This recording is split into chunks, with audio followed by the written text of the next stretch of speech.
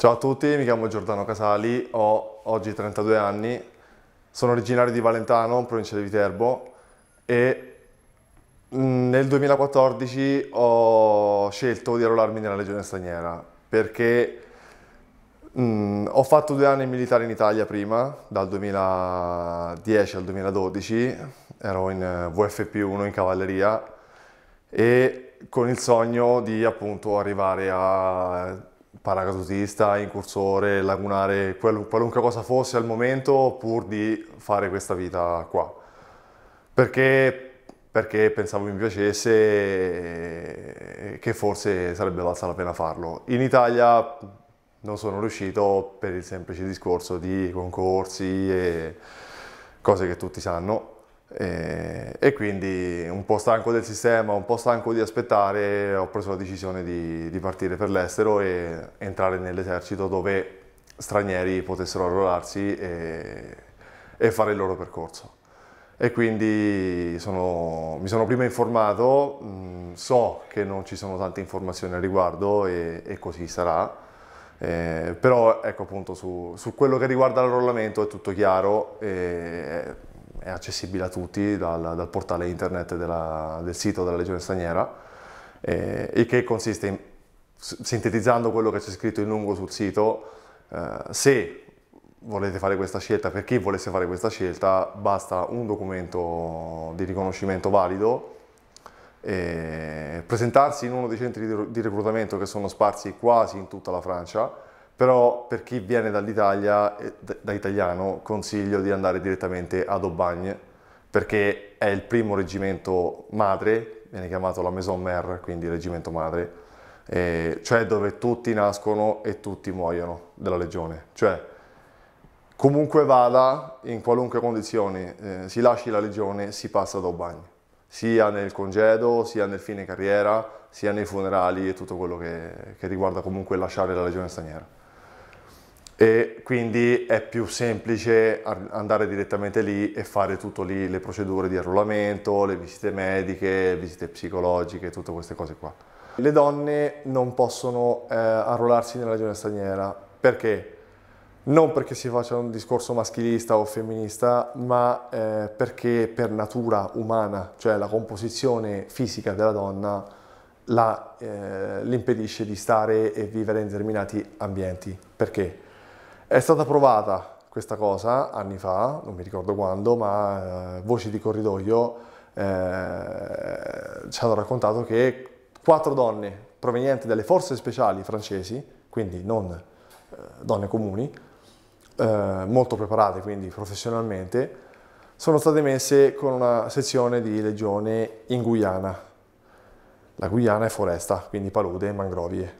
Beh, dopo qualche settimana eh, le hanno dovute evacuare tutte perché appunto eh, sono arrivate le, le mestruazioni, eh, il ciclo mestruale, che è, è, naturale in una donna, e una donna se non riesce a mantenere un certo igiene in questo momento della sua vita rischia la setticemia.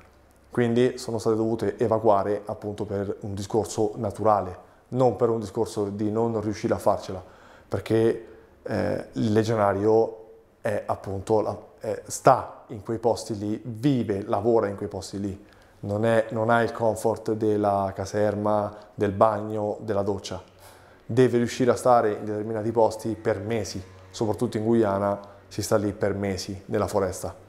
E quindi una donna non riuscendo, ovviamente, così come l'uomo, ma essendo più resistente naturalmente, non resistente di forza muscolare o, o mentale, anzi, anzi eh, essendo più forte eh, naturalmente, eh, riesce a vivere più tempo in quei posti.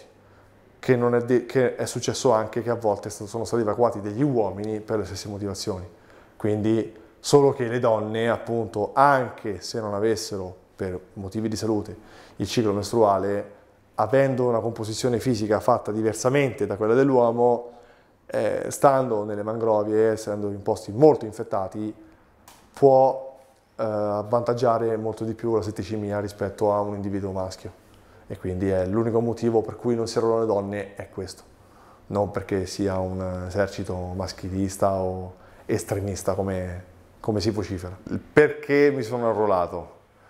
Perché mh, mm, volevo appunto mettermi alla prova più che altro e in quel senso lì. Quindi non è niente di impossibile perché se l'ho fatto io lo, posso, lo può fare chiunque. Il consiglio che posso dare più che consiglio è, è una realtà, è che conta molto la mente, al di là del fisico, il fisico poi viene da sé magari o no, non è, non è fondamentale. Viene, la cosa più importante è la mente, cioè essere determinati e volerlo fare a prescindere. Il, il percorso inizia appunto così, dove uh, c'è un'accoglienza un al cancello, alla, alla porta carraia, in italiano si chiama, eh, dove si entra e vi, si viene accompagnati in un ufficio. Ovviamente nel momento in cui entrate vi scorderete l'italiano perché sentirete parlare solo francese, non esiste altra lingua al di fuori del francese da quel momento in poi. E anche perché è l'unico modo per impararlo poi. E, um, vengono presi tutti i vostri beni, tutti i vostri effetti personali, tutto quello che avete viene preso e viene messo in una parte, custodito e da quel momento in poi voi non potete più accedere a telefonino, carta di credito, mh, passaporto, qualunque cosa, cioè siete praticamente tagliati fuori da, dalla realtà, dal mondo, dal mondo. Perché? Per una questione di sicurezza, perché non, non vogliono che vengano fatte delle foto, non vogliono che vengano registrati determinati audio e soprattutto questo lo si capisce poi, perché nel mentre è normale che siamo tutti dei pesci fuori, dei pesci fuori, fuori d'acqua, ma in quel momento lì eh, è fondamentale perché è già quello un inizio dell'addestramento, cioè un tagliarvi dalla vostra vita passata, qualunque essa sia, a prescindere dal fatto che veniate da una famiglia di, di alto rango o che siete cresciuti in orfanotrofio. Tutti sono uguali, tutti a prescindere, indistintamente, anche perché non avrete un nome, nel senso che vi arruolerete con il vostro nome, ma verranno fatti dei controlli questi controlli servono appunto per vedere la vostra fedina penale, il vostro status nel vostro paese d'origine. Perché? Perché non più come tanti anni fa eh, si arruolavano solo eh, ergassolani o, o, gente che usciva da, di prigione, ma si arruolavano anche persone come me che hanno una fedina penale pulitissima e non avevano niente da, da, da nascondere o da dover dimenticare per forza nel paese d'origine. E, e, quindi hanno un po' ridimensionato la cosa sul, sul discorso appunto ex ergastolani, nel senso che in base a che crimini si, sono stati commessi nel paese d'origine non si viene più arruolati. Cioè se questi crimini sono troppo eh, gravi non si viene accettati per un motivo di appunto immagine che oggi la Francia vuole dare, motivi questi non lo so, non li sa nessuno probabilmente, eh, questo è quello che è stato deciso a tavolino. E, e, invece in base se sono stati commessi crimini più, più semplici, più, che poi cioè, distinguerli è difficile, comunque in base a quelli che sono i criteri loro non si sanno, perché alcuni sì, altri no. E non è che danno mai una spiegazione, cioè se dicono tu sì, tu no, eh, tu sì, tu no, basta appunto, non è che stanno tanto a perdere tempo nelle chiacchiere, sono, eh, è, è, così che funziona il sistema là dentro. E, e quindi mh, per chi avesse commesso dei crimini e volesse arruolarsi, non posso dirvi in base al tipo di crimine che avete commesso se vi possono farvi entrare o meno, perché è una cosa che stanno solo all'interno del centro selezione. Dopodiché si procede con le prove fisiche che sono molto semplici, al contrario di quello che si possa pensare di fare cose impossibili, no, Superman, io dico sempre, in televisione, lì non, non lavora Superman, lavorano persone normalissime, fisicamente perlomeno, e, e, quindi viene richiesto di fare qualche trazione, una corsetta molto semplice e una ventina di addominali, poco di più, quindi eh, è più che altro per vedere la vostra sufficienza fisica, cioè arruolo questa persona perché comunque è di sana e robusta costituzione, come il certificato medico che si fa dal dottore quando si va in piscina, uguale, è tutto lì insomma. Poi si fa una visita psicologica. La visita psicologica la fate nella vostra lingua d'origine, quindi per chi avesse paura di dire ah, non so il francese o l'inglese, non è un problema. Lì dentro si parlano tutte le lingue del mondo, quindi da qualunque posto voi veniate che faccia parte di questa galassia, lì dentro la lingua viene compresa e parlata con voi. Quindi non è un problema. Fate il colloquio nella vostra lingua d'origine e vi verranno fatte delle domande semplici, appunto per vedere qual è il vostro diciamo, comportamento medio, standard nella vita normale, vengono, sono domande molto banali e in genere si tende a prendere persone non troppo, passatemi il termine, per bene, nel senso che una persona che qui in Italia voleva fare il notaio, quindi aveva una vita di, di, di ufficio, dei modi molto aristocratici e tutto quanto, lì si storce un po' il naso perché eh, per forza non è quello l'ambiente che andrete a vivere e quindi si cerca un po' di fare la selezione già su quel senso lì. Perché questo? Perché c'è un alto numero di diserzione e quindi la diserzione è scomoda sia per chi diserta sia per chi per la regione, perché appunto si, vengono si viene a conoscenza di determinate cose, si vengono a scoprire posti, luoghi, eh, tutte queste cose e sono scomode se poi un disertore uscendo le va a sperperare 420. E quindi è per questo che la, la scrematura iniziale, che è molto semplice, viene fatta per questo motivo qua. E le visite mediche sono riguardo quello che era appunto la, la sana e robusta costituzione, cioè se avete fratture gravi alle articolazioni è difficile che vi lasciino entrare perché lavorerete molto sulle articolazioni soprattutto in base, che, in base al tipo di reggimento in cui andrete a finire o sceglierete di andare voi. Però quello che riguarda la vista, l'udito, non, non, è vero che deve, dobbiamo essere piloti d'aerei, non, non, non, è chiesto a nessuno di essere un pilota d'aereo, avere 10 decimi e sentire come, un, come una lepre, no, se è un udito normale, sì, io ho 8 decimi e 9 decimi, quindi non, sono un falco, ma sono entrato tranquillamente, non è, non è, richiesto di essere un falco, neanche per chi volesse diventare sniper, perché magari c'è qualcuno che vuole, vuole fare lo sniper.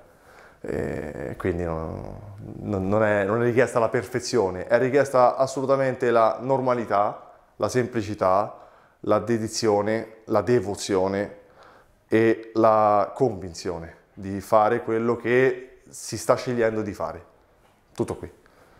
E dopodiché, se tutto questo va bene, eh, insieme ad un gruppo di persone che mediamente sono un centinaio. Mm, io parlo per la mia esperienza perché poi, appunto, come dico, mi sono arruolato nel 2014 e dal 2014 a oggi so che sono cambiate un po', de, un po di cose riguardo anche l'arruolamento, quindi posso aiutarvi a rispondervi per quello che era nel 2014, che sicuramente era un po' più duro di quello che è adesso perché sono cambiati un po' i tempi, i modi, eh, il lavoro in sé proprio è cambiato, quindi la Francia richiede altro, oltre a chiede anche altro, quindi sono cambiate un po' di cose, che come sono cambiate non posso aiutarvi su questo, non, non lo so, però su quello che è stata la mia esperienza posso dirvi che si raggiunge un numero di un centinaio di persone e da lì si va a Castelno d'Ari. Castelno d'Ari è il quarto reggimento straniero cioè viene chiamato reggimento di istruzione, cioè tutti i legionari, a prescindere dal grado e il reggimento di appartenenza, vanno a Castelno d'Ari a fare l'addestramento, il primo famosissimo addestramento di sei mesi circa, il mio è durato sei mesi. Come, vi ripeto, non avete orologio, non avete telefono, non avete niente, quindi voi dopo io ho retto una settimana circa più o meno a contare i giorni, poi dopodiché mi sono perso e, e non sapevo più che giorno fosse, che ore erano, non sapevo niente, vedevo solo che c'era il sole, la luna e basta. E, o caldo o freddo in base a, alla stagione. Io mi sono arruolato a gennaio, quindi era molto freddo, perché Castelnaudary è sotto i Pirenei, quindi è freddo, perché se vi piace il freddo arruolatevi d'inverno, se vi piace il caldo arruolatevi d'estate ma entrambe le stagioni le odierete perché comunque lì sarà l'estremo di ogni cosa che uno può immaginarsi. Una volta che entrate a Castelnau d'Ari andate in una compagnia di addestramento, si chiama in francese compagnie d'engagé volontaire, cioè una compagnia di arruolamento di volontari. tradotto più o meno.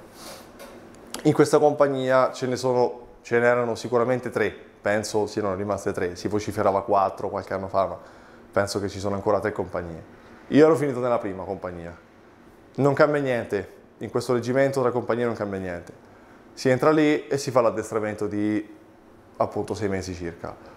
Cosa si fa in questo addestramento? Allora, si impara tutto quello che riguarda la vita militare, quindi la, la vita di, di, di, caserma, di farsi i letti, pulire, soprattutto pulisce. Il legionario pulisce tutto, ogni cosa. Nei pavimenti per terra potete mangiare dentro le, le, le, le compagnie di arruolamento perché quattro volte al giorno c'è un orario prestabilito dove si fanno le famose corvée, cioè le pulizie. E tutti fanno le pulizie quindi eh, la maggior parte del tempo voi vi direte, eh ma questo non è il militare. Sì, forse sì, ma quello è fatto per il dopo. Cioè tutto quello che farete all'inizio, all'inizio non lo capirete e direte ma che sto facendo qui, non è questo quello che voglio, come facevo io. E, e quindi magari tanti iniziano a disertare già da lì perché si aspettavano di, di, di imparare ad uccidere, di imparare a, a fare queste cose qua. Eh, e invece no, prima si impara quello, si impara a marciare, si impara a cantare, il legionario canta dalla mattina alla sera, ogni volta che marcia un legionario canta, quindi odierete proprio quello che fate, lo odierete con tutto il cuore, cioè perlomeno io, per me, quello che erano con me, lo odiavamo con tutto il cuore. E, cioè, non è per uh, smontare il mito della legione, ma questo è una premessa che serve a capire il dopo, della legione, cioè la, la vera forza della legione non è l'armamento o il fisico, è questo, cioè aver pulito insieme, aver cantato insieme, aver fatto tutte queste cose insieme. Perché?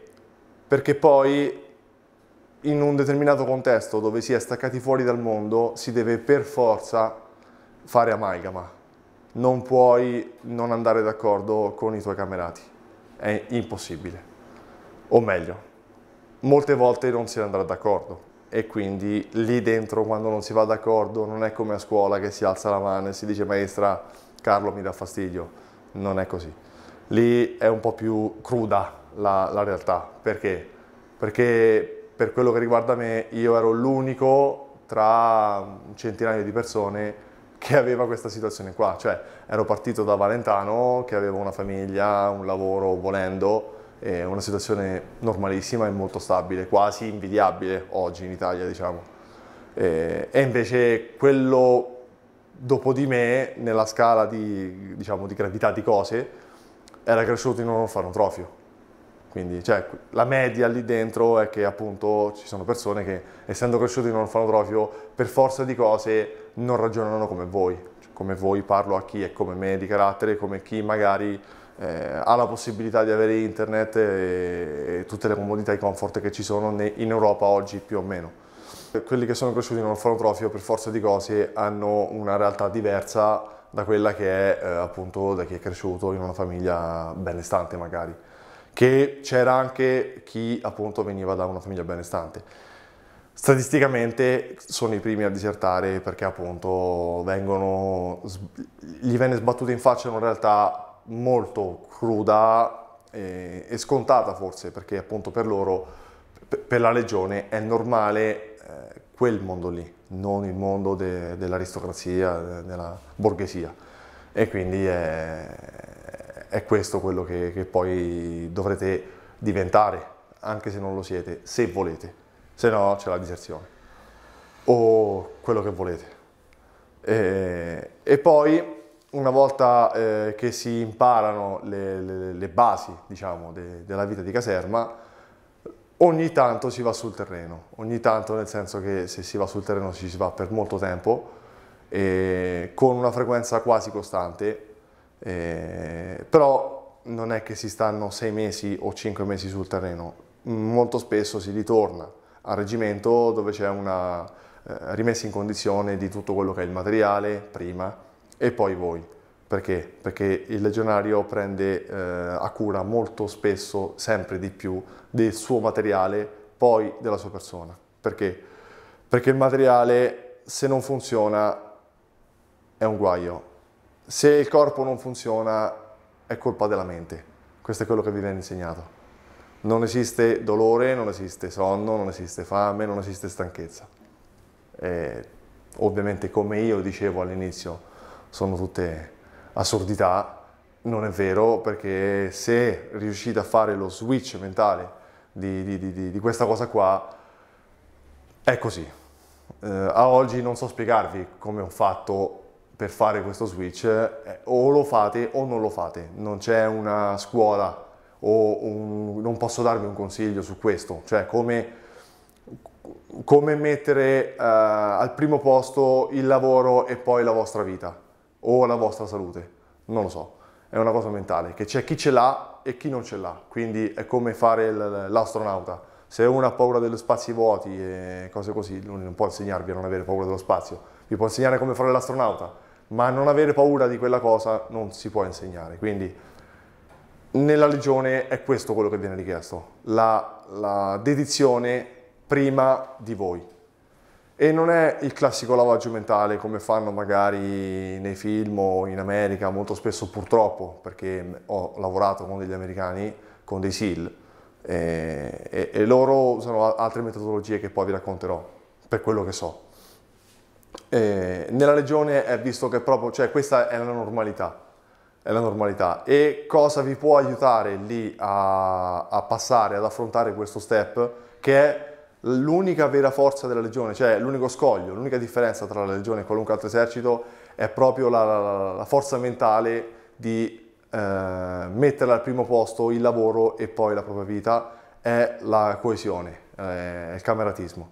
Questo è l'unica cosa che può aiutarvi, perché ritornando indietro, se dovessi ripensare le, al mio addestramento, era proprio, erano appunto i miei colleghi che mi aiutavano mentalmente a, ad andare avanti, perché tutti dimagriscono molti chili, eh, dimagrirete tantissimo, quindi il consiglio che vi do è non spendete per chi vuole andare, sia chiaro, eh, tempo e denaro a diventare big gym, perché tanto una volta che entrate lì, dopo due mesi, perdete minimo 20 kg.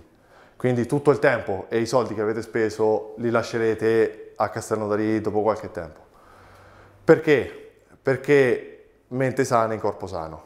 E quindi come faccio io, parlando da istituzione, da istruttore, a vedere se quel soggetto è veramente valido, lo metto allo stremo. Cioè, avendo un fisico che non risponde, che è stanco, che ha sonno, che ha sete, che ha fame, che è debole, l'unica qualità che rimane una persona, un essere umano, è la mente.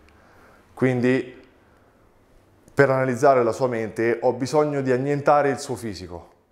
E come faccio? Eh, è semplicissimo, vedrete che dopo un mese massimo tutti crollano, tutti. Chi prima e chi dopo, vero, io sono stato tra i primi a collare, perché appunto venivo da una realtà molto adagiata, eh, però poi appunto si aspetta il limite quando tutti hanno crollato fisicamente Dopodiché lì saranno la legione e gli istruttori a ricostruirvi come vogliono loro. E non è un lavaggio del cervello perché non è che vi dicono che la legione è al primo posto, non sentirete mai queste cose. Sentirete molto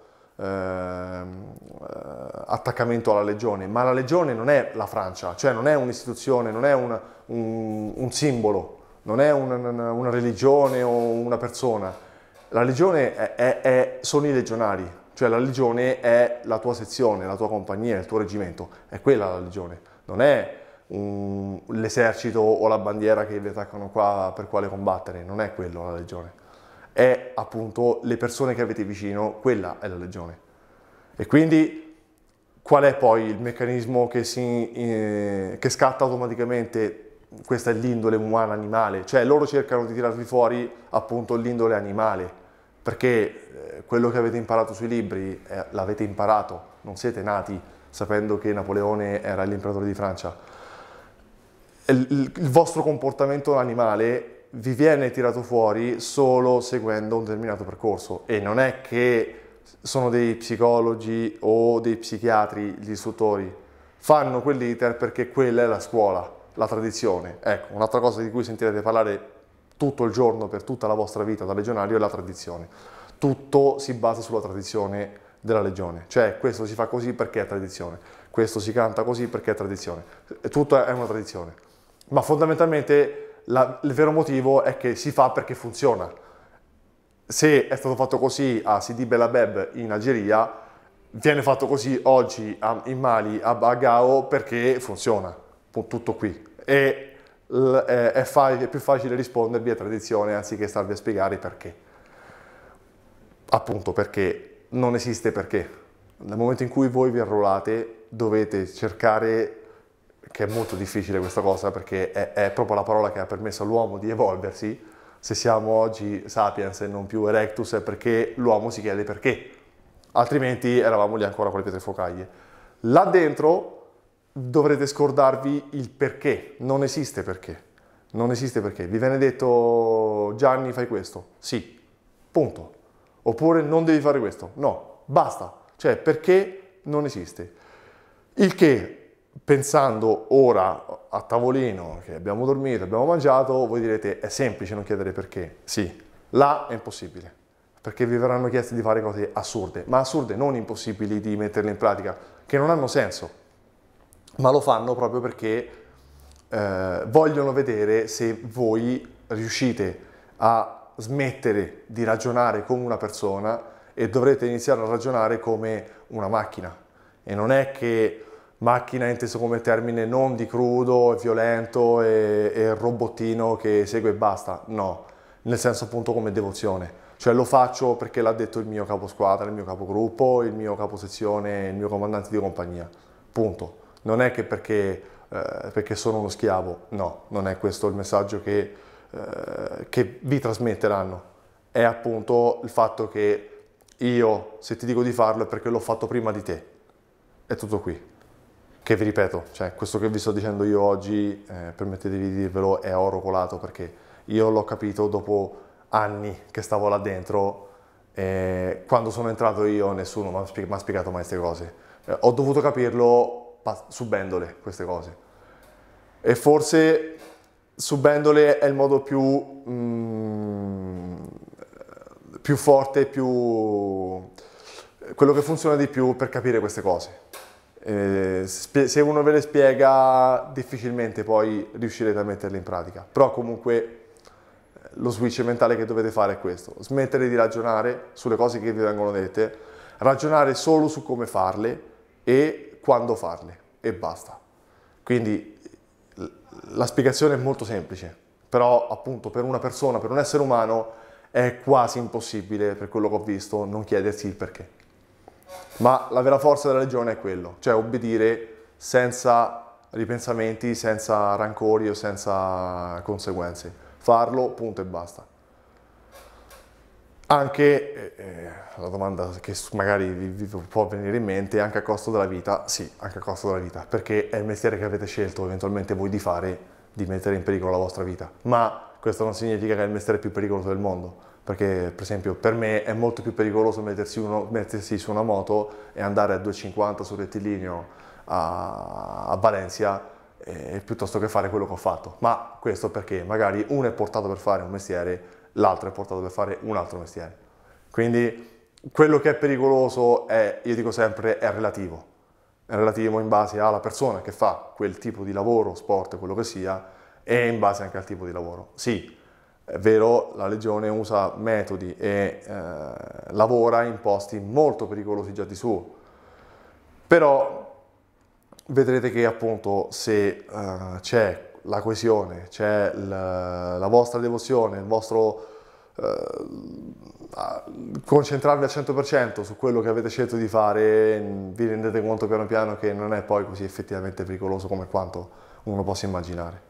La paga è molto bassa rispetto a quello, allora, eh, dirvi quant'è date la mano, beh poi dipende da tante cose, perché dipende se si va sul terreno c'è un'indennità in più, se si sta tutto il tempo in caserma c'è un, un, un, fisso, e se si va all'estero si prende un po' di più.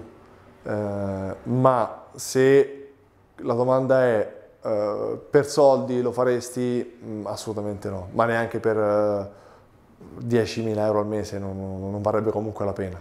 Quindi, che non è assolutamente questa la cifra, ma non vale la pena assolutamente. So- non fatelo assolutamente per soldi, qualunque cifra vi offrono, perché è la vostra vita. Cioè è come se io vi chiedo quanto vale la vostra vita e voi riuscite a darmi una cifra. Se me la date, allora quella è lo stipendio che potete chiedere. Per me la mia non ha valore, quindi farlo per soldi non, non, non ha senso. E, e a, oltretutto comunque è poca, la paga è poca, quindi non, non vale assolutamente, ancora di più non vale la pena. Ho, è uno stipendio diciamo medio francese, è uno stipendio medio francese così come quello in Italia, lo stipendio medio italiano è visto da operai e da militari, lì più o meno lo stesso.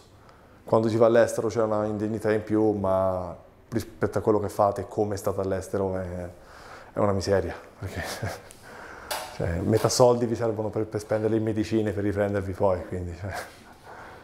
E le spese mediche, ovviamente, tutto quanto. Comunque la Regione su questo dà un, un appoggio molto importante perché sia a livello assicurativo che ospedaliero avete spese zero, ma tutto quello che riguarda ovviamente gli integratori, eh, eh, appunto sì, integratori per riprendervi più velocemente, per avere una, una reazione, un'attività fisica più prestante, è a spese vostre. Quindi passa tutto quello che è nell'ordinario e anche nello straordinario in caso di necessità appunto eh, ospedaliera, ma tutto quello che è in più sia a livello di equipaggiamento che a livello di, di, di, di, interesse personale fisico è a carico vostro. Quindi dopo l'addestramento, la fase di addestramento, poi dopo la vita di caserma, vi insegneranno ad usare appunto ovviamente le armi, vi insegnerete a sparare, le granate. Quando mi sono arruolato io c'era il FAMAS, oggi c'è l'HK.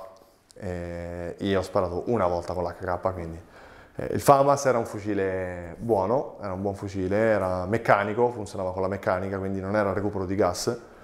Eh, era molto preciso, pesicchiava come fucile d'assalto e il problema che aveva il FAMAS è che spesso si inceppava, perché appunto era meccanico, quindi richiedeva una manutenzione molto più eh, curata di, di, di, fucili a gas. I fucili a gas, per chi magari non è del mestiere, sono il Kalashnikov, così eh, spieghiamo tutto a tutti. E, ehm, e quindi eh, appunto ecco perché nella legione viene sempre messo il, il, materiale al primo posto, cioè la rimessa in condizione è prima del logistico, poi della persona. Cioè, sintetizzando e spiegando, sono in una pattuglia, in una marcia, ho 10 minuti di pausa, in quei 10 minuti di pausa devo sistemare prima tutto il materiale che ho per lavorare poi eventualmente mi riposo io il tempo che rimane, non è il contrario. Questa è una legge là dentro, è una regola che tutti fanno. Quindi, grazie a questo, la Legione comunque lavorava bene anche col FAMAS proprio perché appunto erano sempre lustri i fucili anche mentre sparavano e, e quindi era, non era uno svantaggio così grosso. Però poi appunto magari un po' il, il, il business degli armamenti, un po' l'evoluzione, un po' i tempi che cambiano, si sono adattati e hanno, e hanno appunto adottato l'HK Eckler Clock, che è belga, un ottimo fucile, eh, che recupera gas. È un po' meno preciso del FAMAS, ma per quelli che sono oggi gli ingaggi e l'impiego delle armi, capite bene che avere una precisione a 300 metri con un fucile d'assalto è quasi inutile, cioè non è, non è lì la differenza, ma appunto magari è nell'incippamento dell'arma a 50 metri, lì è un problema e succede. E, e, quindi lì se non si è bravi, non si è preparati, sono dolori.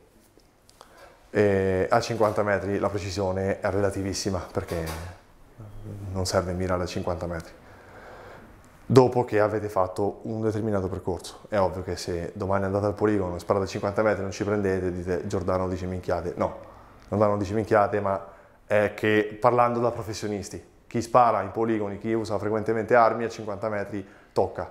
Quindi eh, conta semplicemente la dinamicità, ecco che chiamiamo tiro dinamico, e la mobilità e l'uso del, dell'arma e la maneggevolezza dell'arma, tutto qui. E in questo l'HK è molto molto buona e eh, come pistola si, si, aveva la Beretta la 92, non il modello come quello che hanno i carabinieri ancora oggi in dotazione, per chi conoscesse l'FS, se non sbaglio si chiama il modello, ma un'adozione che era uguale ma non aveva la sicura, l'unica cosa che, che cambiava era la sicura che non c'era. Abbatteva solo il cane, il martello, eh, ma comunque il, se si premesse su, sul, sul, grilletto il colpo partiva. Eh, perché appunto viene molto eh, martellata la terapia del, mane, del, mane, della, del maneggio e dell'utilizzo delle armi. E infatti quello che sentite dire magari è la martoterapia, cioè terapia a martello, nel senso che per farvi insegnare a, a, usare la pistola, cioè non a sparare, a maneggiare la pistola, starete magari due giorni su un piazzale senza dormire, mangiare, bere, andare in bagno, a usare la pistola, cioè starete due giorni di fila ad usare la pistola come dicono loro. Quindi voi, a me mi è successo che dormivo e muovevo le mani, probabilmente magari maneggiavo la pistola nel sonno. Cioè succede, perché lo fate a livello eh, di esaurimento nervoso, cioè vi, vi vi, vi, vi portano all'esasperazione a forza di farvi vedere come si fa una cosa. E quella cosa funziona. Perché? Perché se io vi spiego oggi in un secondo come si usa una pistola, voi la sapete usare la pistola, ma in condizioni di non stress, di tranquillità, di serenità e di pace armoniosa massima. Quando siete in una determinata situazione c'è quella che viene chiamata la memoria muscolare. La memoria muscolare serve quella che appunto il vostro corpo fa in automatico, cioè come per un, per, una, per un, tassista frenare quando vede degli stop della macchina davanti che si, accendono, che si accendono. Lo fa perché lo fa da una vita e quindi ha una memoria muscolare.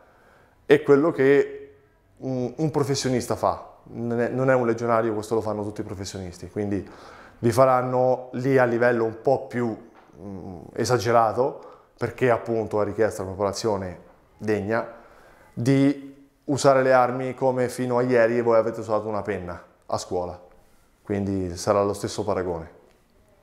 Poi le armi di, di, di base sono appunto il, fa, il fucile d'assalto oggi HK, la Glock 17, non c'è più la beretta 92 come usavo io, e, avendo oggi una Glock 17 posso dire che è meglio la Glock 17, eh, però la beretta comunque è un'arma che non abbandona mai, è come il Kalashnikov dei fucili, e la Minimi, la Minimi è una mitragliatrice leggera, ci sono due calibri 5,56 e 7,62, principalmente userete la 5,56 perché 7,62 si usa la MAG 58 che è un'arma di reparto, cioè per usare la MAG dovete fare poi un corso eventualmente se vorrete che vi piace il lanciamissili, l'RX che è un missile che usa la legione, c'è in ogni gruppo di combattimento, poi vi spiegherò magari la, la composizione della sezione di combattimento, eh, usa, quelli che non hanno i lanciamissili usano dietro le maghe 58 che sono questi mediatrici pesanti, da 7,62 il calibro.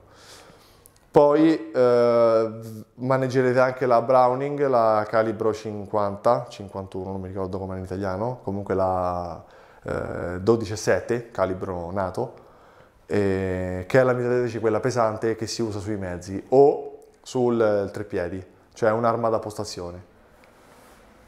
Questo lo farete durante tutto l'addestramento, cioè molto spesso andrete a sparare al poligono, sparerete innumerevoli quantità di munizioni eh, dal giorno alla notte. Dal giorno alla notte si intende dalle 2 di notte alle 4 di mattina del giorno dopo, cioè non stop. Voi state lì e sparate, che sia caldo, che piova, che sia freddo, che avete male, dovete sparare, sparate, punto. L'equipaggiamento, sì, appunto, di notte imparerete a usare l'OB70, eh, che è un visore notturno. Eh, ovviamente l'equipaggiamento della Legione è molto vecchio, perché? Perché costa. Costa rinnovare l'equipaggiamento, chiedere a una persona di avere un risultato ottimale con quell'equipaggiamento non costa, costa all'operatore. Quindi che succede? Ritornando al discorso che vi ho fatto prima, la differenza tra legionario e qualunque altro soldato è anche questa. Avere un risultato ottimale usando strumenti, passatevi i termini, preistorici, perché l'OB-70 era un visore della seconda guerra mondiale. Oggi i SIL, i SAS e altri corpi hanno visori notturni da fare invidia alla NASA. Quindi capite bene che un conto è fare un lavoro con uno strumento eh, antico, poco prestante, e un'altra cosa è ottenere un risultato con uno, con uno strumento molto prestante. quello che vi viene chiesto è di avere lo stesso livello di eh, prestazione. Punto. Come? Eh, dipende da voi, dall'operatore, da chi è lì, è lui che deve fare più del doppio dell'altro per avere lo stesso eh, risultato. E quindi è questa la forza. Quindi per chi dovesse chiedere chi è più forte, il legionario, che sono domande che ho sentito, nessuno è più forte. Eh, è appunto come uno usa quello che gli viene dato. Tutto qui. Quindi, ok, un legionario è abituato a usare il FAMAS che si inceppa, è ovvio che un SIL con l'M4 nuovo di zecca eh, non si inceppa. Quindi su uno scontro a fuoco le probabilità sono molto più alte del, del, del soldato americano. Ma non sempre alla meglio. Perché? Perché è la mentalità del legionario che è disposto a morire pur di raggiungere quell'obiettivo lì. Quindi eh, è tutto su, sul piatto della bilancia, non è, non, è, non è, un esercito più forte o uno più, più debole, è appunto la, la, la, fortuna, tanta, tanta fortuna, e come voi sfruttate quello che avete, tutto qui, che sia dall'equipaggiamento, dal logistico, dal vostro fisico, eh, dalla vostra mente e da, dal terreno. Eh, si, si, gioca tutto sul momento, non è uno è più forte e uno è più debole. Poi, una volta finito l'addestramento, durante l'addestramento ovviamente eh, starete tanti giorni nei boschi, quindi sì, imparerete. Nessuno vi viene ad insegnare, cioè non si fa un corso di sopravvivenza.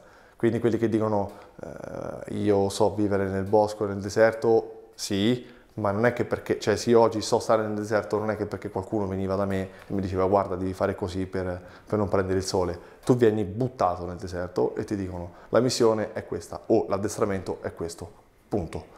Sei tu che mentre stai lì devi cercare di, al di là di tutto, quindi la lontananza da casa, lo stress, la paura, la fatica, il sonno, la stanchezza, comunque devi avere l'obiettivo della missione in mente che è quello, quello che conta e per arrivare lì devi cercare di arrivarci possibilmente vivo. E quindi devi adattarti tu in base all'ambiente in cui sei eh, di, eh, non, di, di, essere in condizioni di poter arrivare eh, appunto eh, funzionale poi vivo o no loro l'importante è che funzioni come soldato. E quindi quello che ho imparato oggi nel bosco, nella foresta, nelle paludi, nel deserto dove sono stato è proprio perché mi trovavo lì e, e, e, rubi con gli occhi, vedi quello che fa così, dici ah ok lo faccio anch'io. Non è nessuno vi verrà a fare un corso di sopravvivenza o accendere il fuoco con le pietre anche perché parliamoci chiaro, nel 2014, anche se era qualche anno fa, c'erano gli accendini. Quindi e, e, se uno dice, eh ma se non hai l'accendino non hai tempo neanche di fare il fuoco se non hai l'accendino oggi, perché mh, non esiste più l'abbandono, nel senso che non è che c'è uh, la guerra del Vietnam che andavate nella giungla e nessuno sa più dove siete e che fate. Oggi avete, io in chili avevo più o meno 30-40 kg di, di, di peso addosso, che era appunto l'equipaggiamento e tra tutto, tra tutto questo c'era anche radio, GPS e tutto quanto, quindi sanno dove siete, sanno che fate e eventualmente vi vengono a prendere.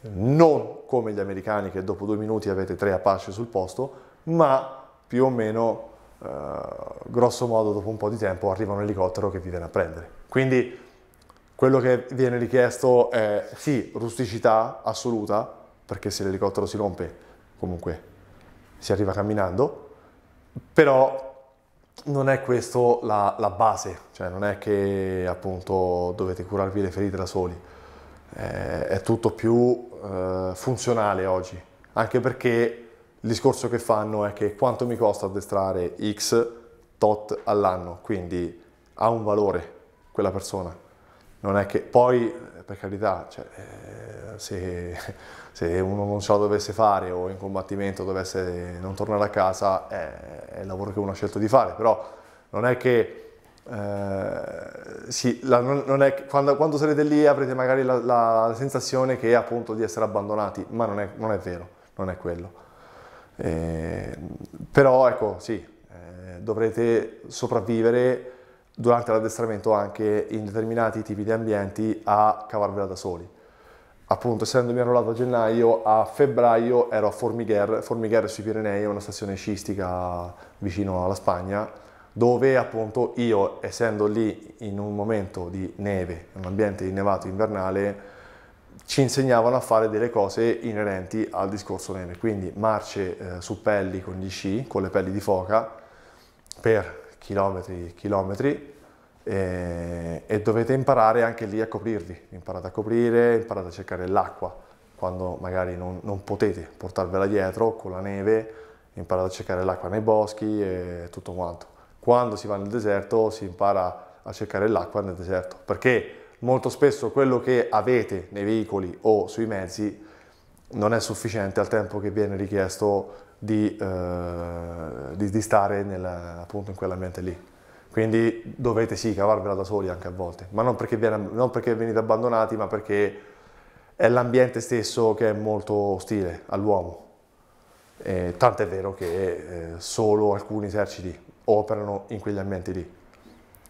Parlando della Francia, solo la legione opera in determinati ambienti perché l'esercito francese non è che non è valido, non è preparato mentalmente non riuscirebbe a sostenere un'operazione più vivere in quel contesto lì. Quindi è questa la differenza. Il legionario è normale che viva in quel contesto lì. Poi la missione è solo, è solo il suo lavoro. Vivere lì è normale.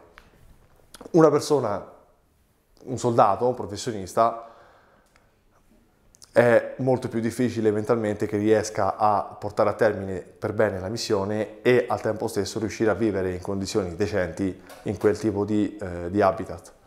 E, e quindi è, questo, è, è, questa la differenza sostanziale tra il legionario e un altro eh, operatore. La lingua. La lingua la imparate durante i corsi, i corsi quando si fanno di notte, perché di notte non dormite, non si dorme o molto raramente o a volte ci sono giorni in cui dormite e basta. Lo fanno anche per destabilizzarvi, perché non avere una regolarità eh, di sonno al corpo umano lo destabilizza molto, più di ogni altra cosa. Tant'è vero che mi è successo di camminare e eh, non ricordarmi la strada che ho fatto, ma non perché soffrissi di Alzheimer, perché eh, ero veramente in, in trance, cioè non, non mi ricordavo la strada come, come eh, avessi fatto ad arrivare in quel posto lì. Eh, succede, perché quando non dormite per giorni e tu dici come fai a camminare e dormire, non lo so, però succede. Lo, eh, mi è successo, quindi eh, ti ritrovi in quel posto e non sai come sei finito lì. E, è normale, cioè, non, non, è, è il minimo che possa succedere. Quindi, dopo di, di, di questo, eh, una volta finito l'addestramento, il francese appunto lo imparate per forza perché par tutti parlano francese. È vero anche che per i latini è più semplice, perché la grammatica è molto simile, le parole molto spesso si assomigliano, cambia solo un po' l'accento, quindi è più facile, è vero. Io dopo un anno, grosso modo, parlavo abbastanza bene il francese eh, mentre invece ovviamente per i russi, i cinesi, eh, tutte queste nazioni che hanno totalmente un alfabeto diverso è molto più difficile. Ma è anche un problema per chi è più avvantaggiato perché appunto per me che sono più avvantaggiato nel parlare questa lingua devo preoccuparmi che il mio collega quando mi parla mi capisca. Quindi sta, prima voi imparate, prima voi dovete aiutare gli altri ad impararla. Cioè nessuno è avvantaggiato in qualcosa lì dentro, perché anche fisicamente chi è più prestante deve tirare chi è più debole, deve tirarlo. E magari la domanda è, e perché chi è più debole non viene lasciato indietro? Perché non si abbandona mai né armi né soldati. Mai, per nessun motivo al mondo è inesistente questa cosa, non esiste. Prima dovete pensare a voi, ma una volta che voi state bene, la seconda cosa a cui dovete pensare è il collega che avete vicino. E basta. Questa è l'unica vostra preoccupazione, sia in addestramento, sia nella vita di caserma, sia in operazione. Nella vita di caserma, per esempio, un'altra cosa che vi porteranno all'odio contro questa cosa è lo stirare, stirare le, le divise. Perché? Perché dovete avere tutti i giorni le divise stirate e perfette sia mimetiche sia divise, in Italia viene chiamata la drop, eh, la così chiamata drop, eh, la si chiama TDF, eh, dovrà essere sempre assolutamente impeccabile. Quindi per chi non è capace di stirare, chi sa stirare o imparerete a stirare, ve lo garantisco, perché io sono partito che non sapevo stirare, ho sempre fatto tutto a casa ma stirare mai, lì ho imparato benissimo, perché starete giorni e giorni col ferro da stiro in mano a stirare la divisa finché non è come dicono loro. Perché, perché loro, la, la legione ci tiene molto all'immagine, quindi un'immagine di un soldato ordinato, preciso e curato è, tut, è tutta un'altra storia rispetto a un soldato trasandato. Quindi è, è tutto quello che, per sintetizzare, quello che è come è la legione, è tutto estremizzato, tutto, l'aspetto, la, il comportamento, la, la, la, devozione, la professionalità, la prestanza fisica, la lingua, è tutto estremizzato ai massimi livelli. Cioè, più voi avete un, uh, un livello alto in queste cose, più sarete un buon legionario e voi dite, eh ma se stiro bene a me alla fine eh, che, che, che, mi cambia se stiro bene piuttosto che se sparo bene? Cambia. Perché? Perché nella vita di, di una caserma, nella vita comunque di un soldato, c'è anche il rapporto.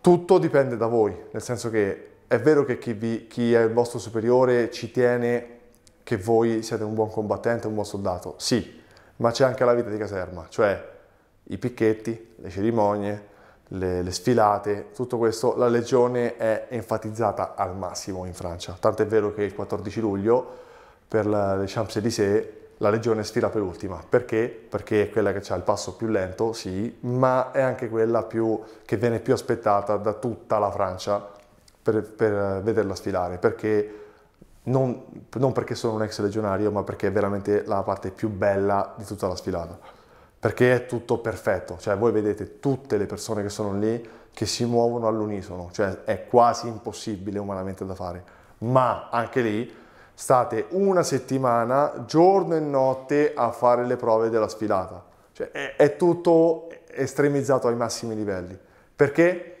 Per raggiungere la perfezione. Sì, niente è perfetto, ma vi garantisco che la legione ci si avvicina in tutto quello che riguarda l'obiettivo che ha in mente di raggiungere. Quindi che sia una sfilata per essere belli, che sia un combattimento per essere eh, performanti, eh, la strada è quella, cioè devozione e costanza e appunto martoterapia giorno e notte a fare e riprovare quelle cose lì. Quindi anche lo stirare sarà una cosa che farete da, da, da donna delle pulizie, non da soldati, ma lo dovrete fare giorno e notte con le lampadine frontali in fronte, state lì a stirare perché magari chi ha già stirato dorme, voi che non riuscite a stirare dovete stare lì a stirare. E la differenza appunto è questa. Chi ha stirato molto spesso deve aiutare chi deve stirare. Perché? Perché è vero che io ho stirato, quindi la mia divisa è pronta, ma se il mio collega la divisa non ce l'ha pronta, non posso fare la sfilata neanche io, quindi ci rimetto anche io. Questo molto spesso porta a un conflitto all'interno, perché poi dopo, arrivando ai livelli di stress molto alti, eh, favorisce a volte un conflitto, ma dopo il conflitto c'è un'unione che io da figlio unico, che non ho fratelli, posso dire di, di, di, sapere cosa prova un fratello per un altro fratello, perché dopo, dopo questo il legame che si crea tra, tra chi sta lì e gli altri è una cosa indescrivibile, forse più, forse più di un fratello. A volte ho, ho, ho, degli amici con dei fratelli e vedo che non hanno lo stesso rapporto che ho io a oggi ancora con eh, ex colleghi o colleghi che sono ancora rimasti.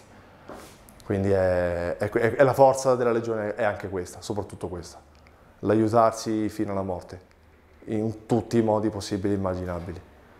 Un'altra cosa che vi viene chiesta è di sbrigarvela da soli, non importa come. Loro vi dicono voglio che tu faccia questo. Come non vi chiedono come, una volta che voi l'avete fatto non vi viene chiesto come l'avete fatto, basta che è stato fatto. Questo è un consiglio che mi permetto, nonostante sono giovane, di dare a tante persone oggi, perché molto spesso quando sono di fronte a un problema o a una, una difficoltà, tanti dicono eh ma come faccio? molto spesso sento dire come faccio, non conta come lo fai, l'importante è che uno cioè, si deve ragionare nel fare quella cosa, non come la deve fare. L'importante è farla, poi come non è un problema. Nessuno vi verrà a chiedere, eh ma tu come hai fatto a, ad andare così forte, a essere così bravo? L'ho fatto, l'importante è farla, punto. E questo è, uno, è anche questo è uno scoglio molto grosso da, da dover superare lì dentro, perché anche io ovviamente mi chiedevo come. Mi dicevano fai questo e io dicevo, eh sì, ma come? no, devi farlo, punto. Poi come non, non, è un problema, se hai rubato, se hai fatto cose magari che non dovevi fare, non importa, l'importante è che tu l'hai fatto. Poi si pagano le conseguenze di quello che si è fatto, ma l'importante è farlo, punto. E questo è quello che vi viene chiesto lì dentro. Stira, come? Eh, non lo so, ma la, la divisa deve essere stirata per domani. Non ho tempo, eh, lo trovi il tempo. Prendi un altro con due ferri da stiro e stiri la divisa. Cioè, a tutto c'è una soluzione, a tutto. L'importante è volerla trovare e volerla fare. Tutto qui. Questa è una cosa che vi aiuterà molto, soprattutto lì dentro, ma anche magari per, altri, per altre cose. Dopo l'addestramento c'è un ranking, cioè voi venite valutati sempre H24, siete sempre sotto osservazione, siete sempre valutati, non, non avete un minuto di, di, di tranquillità, di serenità in ogni, quello, in ogni, cosa che fate, come parlate, come vi comportate, come camminate, come marciate, come sparate, tutto, tutto, come combattete, vi, eh, voi siete eh, valutati. Dopodiché, alla fine dell'addestramento, c'è appunto un ranking, i primi 10 di questo ranking sceglieranno il reggimento eh, d'appartenenza, cioè vi verrà chiesto in quale reggimento voi volete andare. I reggimenti della legione sono quelli operativi, cioè quelli che voi potrete scegliere una volta finito l'addestramento. Il secondo Rei, Fanteria NIM, il secondo Rep, Paracosisti e Calvi, il terzo Rei, Guyana, Fanteria Foresta, il primo Rec, Cavalleria a Carpiagne, una volta era Orange, il primo Reg, primo Genio, Reggimento Genio a Lodan, il secondo Genio eh, a San Cristol e la tredicesima brigata, la DBLE, che è a oggi all'Arzak.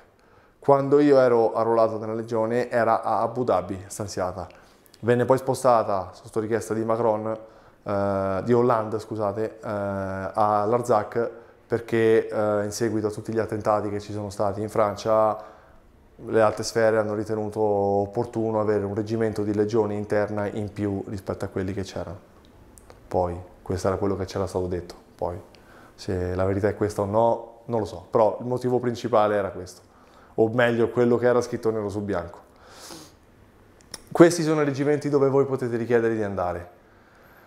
La Guyana all'inizio è un po' uh, complicato perché molto spesso è il reggimento dove, che viene un pochetto più ammirato perché appunto c'è foresta, c'è più avventura, c'è molto terreno, eh, però c'è un numero molto molto molto stretto di persone che possono andare e molto spesso valutano cose che non vi dicono, per cui mandarvi o meno. Quindi se non viene accettata la vostra richiesta, poi verrete mandati in un reggimento random. Io personalmente ho scelto di andare nel secondo re, infanteria, perché, perché oggi come oggi a livello di utilizzo, combattimento, la fanteria è quella che viene utilizzata di più, se non fondamentalmente di più. Paracadutisti anche avrei molto voluto, ma è un consiglio che do a per chi è un po' più grande fisicamente di non andare se amate la vostra schiena, perché è pesante e, il lancio di un legionario è a 400-500 metri. Sì, avete l'automatico, quindi quando uscite dall'aereo si apre automaticamente, quindi subito, ma la discesa è molto rapida, quindi l'impatto al suolo è, è come se voi saltaste da 3 metri e mezzo, quindi Prima di andare, se volete fate la prova, saltate da 3 metri e mezzo e vedete che effetto fa alla schiena vostra. Io l'ho fatto e non è bello. E quindi ho scelto fanteria. Eh, ero, sono finito terzo in graduatoria. Sono finito terzo perché non ero il più bravo, assolutamente. Ero semplicemente quello che ci si metteva di più. Perché appunto all'inizio ero uno di quelli eh, più indietro. Perché appunto tutti erano già quasi animali, nel senso che comunque erano cresciuti in orfanotrofi, tanti, tanti, eh, una, una, grossa affluenza nella legione c'è dall'est Europa, una, perché le parti più povere, eh, quando, quando non si ha scelta molto spesso, prima di cadere in, eh, in brutte situazioni, tanto la gente ragiona perso per perso, vado lì. E molto spesso il ragionamento che fanno è questo. Quindi chi va lì non è che ha molte chance di, di, o scelta di vita e quindi sono persone particolari, nel senso che cioè, sono già mentalmente forse un po' più predisposte rispetto a quello che ero io nel 2014 e quindi ho dovuto faticare molto di più per arrivare al loro livello mentale di, di, di adattamento, di, di, stress, di situazione e tutto quanto. E vengono molto spesso dall'Africa, quindi paesi, tutti i paesi poveri, quelli che si possono pensare, Est Europa, Asia Minore, eh, pochissimi americani, pochissimi inglesi, pochissimi francesi, pochissimissimi italiani, pochissimi spagnoli, eh, perché appunto c'è uno stile di vita più agevolato, più agiato rispetto a, agli altri paesi e quindi la, la grossa affluenza c'è da parte di paesi poveri. E, ehm, quando, quindi loro erano molto più forti di me, sono più forti di me, alcuni eh, sono ancora dentro e sono delle macchine da guerra secondo me, cioè molto più bravi di me. Però appunto quello, che, quello in cui siete valutati è tutto, quindi è nel vostro comportamento, nel vostro altruismo, nella vostra modestia, nella vostra dedizione, nella vostra eh, bravura nel parlare la lingua, nella topografia, nelle marce, nelle trasmissioni, nel soccorso in combattimento, nell'utilizzo delle armi, tante cose eh, di cui voi dovrete fare dei test e quindi sarete messi alla prova. Facendo una media c'è il ranking, quindi magari che succede? Che quello che era fisicamente un atleta nel percorso ostacoli, il percorso ostacoli della legione è molto difficile perché viene richiesto un tempo eh, di 4 minuti massimo mentre invece per l'esercito francese si deve fare in 5 minuti. A un legionario viene richiesto un tempo massimo di 4 minuti per finire il percorso, quindi è dura, molto dura. Poi, eh, facendo una media di questi appunto punteggi, di queste valutazioni, c'è il vostro ranking e io ero finito terzo e quindi ho scelto di andare a NIM e sono stato accontentato. Eravamo in 11 ad andare a NIM dopo sei mesi, scusate un passo indietro, eh, prima di andare al reggimento si ritorna tutti a Aubagne perché si riprendono i, i, nostri effetti personali, quindi il telefono, il passaporto, i documenti, il portafogli, tutte queste cose, si, riviene, eh, si riprendono tutte queste cose che si sono lasciate. Ovviamente la prima cosa che ho fatto, non lo nego a nessuno, è stato accendere il telefono, eh, vedere innanzitutto l'ora e la data e lì ho capito che erano passati sei mesi perché ho detto ok, mi ricordavo che mi fossero lato a gennaio, ho detto ok, eh, erano passati sei mesi, dico ok, è durato sei mesi. Eh, sì, era caldo quando ho finito, ma eh, caldo a sud della Francia poteva essere maggio come aprile come giugno. Quindi, eh, tornato al reggimento, ho chiamato mia madre subito, immediatamente dopo sei mesi, perché fino a lì voi non avete contatti con l'esterno. O meglio, quando nel 2014 era così, non potevate chiamare nessuno. E quindi una volta la bella notizia che andava tutto bene, sono tornato a Nîmes.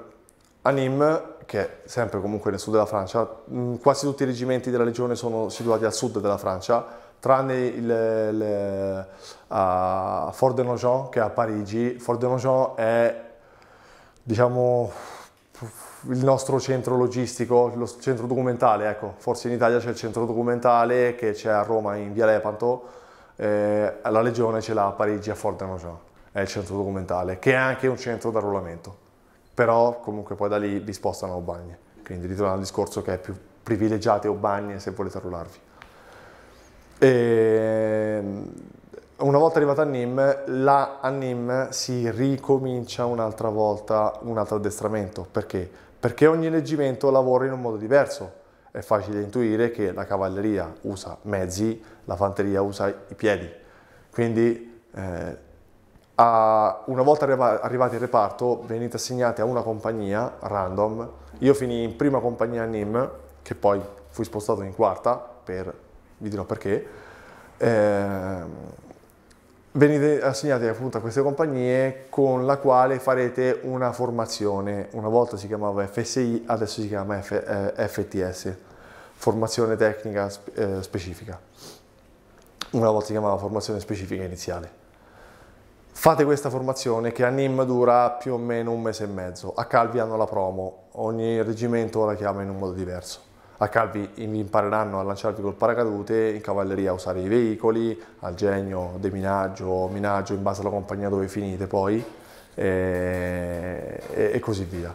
A NIM c'è una formazione tecnica riguardo la fanteria, quindi l'utilizzo di più armi, maneggio più, mh, forse più tecnico delle armi e, e tutto quello che riguarda la, la, il combattimento classico, cioè combattimento classico nel senso di eh, combattimento in foresta, combattimento urbano, combattimento su territori eh, presenti lì in Francia. Eh, iniziato questo FSI si, appunto, si eh, imparano a smontare e rimontare tutte le armi nel dettaglio, cioè nel senso nel pezzo più piccolo e vi garantisco il FAMAS aveva pezzi di questa dimensione qui e dovete smontarli anche bendati.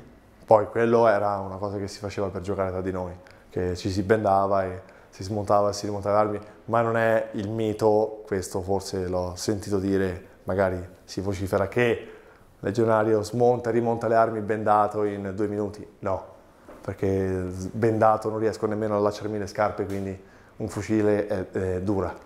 Si fa, si fa, l'ho fatto, ma non in due minuti. Quindi eh, si fa per gioco, ecco. comunque come, come, a livello tecnico quello che viene richiesto è che voi siete in grado di smontare e rimontare il vostro fucile, perché per pulirlo fondamentalmente, eh, o appunto per capire se si è rotto un pezzo eventualmente farlo cambiare e, e basta.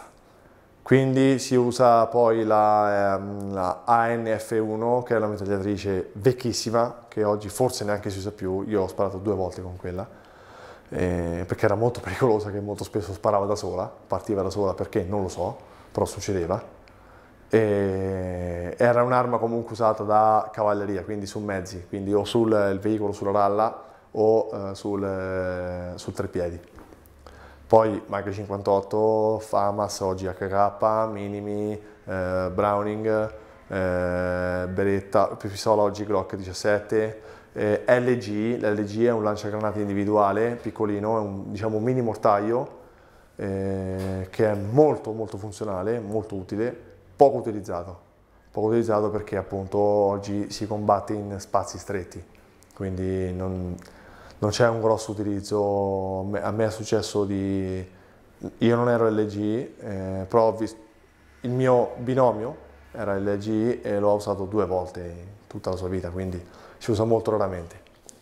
E, però si spara molto frequentemente ai tiri di, in poligono con quello perché è molto difficile da usare, perché appunto non, è, non ha organi di mira, ma è, eh, è, tutto più o meno quasi istintivo il tiro. Ha una gradazione con la quale si, deve, si calcola la distanza, ma la direzione è assolutamente a occhio, quindi è, non è un'arma di precisione, ma è un'arma d'appoggio. E Uh, AT4, AT4 CS è il lanciara, lanciarazzi della legione straniera, l'RPG dei jihadisti, la legione era l'AT4, per farvi capire per chi non fosse del mestiere. È un lanciarazzi che viene usato contro veicoli, contro blindati, contro grossi edifici, contro ponti, è, un, è una grossa cosa che fa boom, quindi è un lanciarazzi. Viene usato anche quello. Quello, al contrario di tutte le altre armi, è quello che io ho amato di più perché una volta che si usa si getta, quindi non si deve pulire, non si deve portare indietro, si getta, perché una, viene chiamata una munizione, non è, non è come l'RPG che si ricarica, che lancia i razzi appunto, quello è, una, è un tubo, cavo, dove c'è appunto questa, questo razzo con una contromassa liquida che dopo l'utilizzo il tubo è praticamente inutilizzabile, quindi viene semplicemente gettato e, e basta. Queste sono le armi principali che usate una volta, quasi in tutti i reggimenti della Legione Straniera appena entrate. Poi c'è la vostra arma di reparto, cioè per la fanteria, per gli altri reggimenti non parlo perché non sono così informato riguardo la fanteria, quindi vi parlerò molto di più sulla fanteria perché è quello dove io ho lavorato. Io ero minimi, quindi ero mitragliere. Appena entrate voi siete legionario come grado, quindi valete 0 e avete un'arma di reparto. All'inizio potete scegliere, tra virgolette, la vostra preferenza, nel senso che quando eh, venite assegnati alla compagnia a NIM passate rapporto dal capitano col quale parlerete e darete una vostra preferenza. La vostra conoscenza delle armi è uguale a zero appena entrati, quindi non avete un'idea di quello che può essere l'impiego. Quindi io ho detto tutto tranne sniper. Quando mi è stato chiesto cosa volessi fare ho detto voglio fare tutto tranne quello, quindi tutto mi va bene tranne quello. Perché? Perché comunque viene spiegato un po' qual è l'utilizzo dello sniper in breve sintetizzandolo, è stare fermo in un posto senza muovervi per una settimana e a guardare il nulla. Quindi ho detto tutto tranne quello, perché caratterialmente non sono, non sono portato per fare questa cosa, tutto qui. Ma è un, è, per chi volesse è un, è un, lavoro bellissimo e fondamentale soprattutto. Eh, io e quindi essendo alto e grande mi hanno dato la mitragliatrice perché pesa un po' di più, perché è un po' più ingombrante da portare in giro, quindi si privilegia l'utilizzo di una cosa più pesante a chi è più grande piuttosto che uno che è più, più piccolino. Più piccolino il limite di altezza non c'è nella regione straniera, non c'è. Nel limite di altezza l'età massima è 41 anni. Voi fino a 41 anni potete arruolarvi, dopodiché no. Ma non c'è limite di età e non c'è struttura, cioè se si è obesi sì, ma perché è una malattia, non perché è un vostro status ma per chi ha un po' di pancetta o per chi è palestrato non cambia niente. E io, il mio binomio era un giapponesino, era alto uno, è alto 1,60 e posso garantirvi che era su alcune cose molto più performante di me che sono 1,90 quindi eh, lì capite che eh, tante cose per cui altri eserciti sbagliano molto a, a scartare persone semplicemente per una cosa estetica o secondo loro funzionale non è vero, perché appunto tutto riguarda da, da quello che c'è qua dentro e qua. E, e quindi lui era, lui era LG e io ero minimi. Quindi che succede? Una sezione di combattimento è composta da tre gruppi. Voi verrete messi in una compagnia di combattimento, la compagnia è fatta da quattro sezioni, le prime tre di combattimento, la terza sezione è d'appoggio, quindi vengono utilizzate più armi d'appoggio, quindi sniper, Milan, RX, mortai. Sono armi di grosso calibro che hanno un lavoro di copertura e appoggio a chi è la sezione di combattimento. Le sezioni di combattimento fanno appunto il combattimento. Sono eh, molto spesso in base al terreno, la strategia, al tipo di lavoro che si sta facendo a contatto con la prima linea la prima linea è appunto lavorata dalle tre sezioni che rimangono, parlando di compagnia, perché questo è quello, molto spesso la legione lavora in compagnie, difficilmente è un, uh, un reggimento che si muove.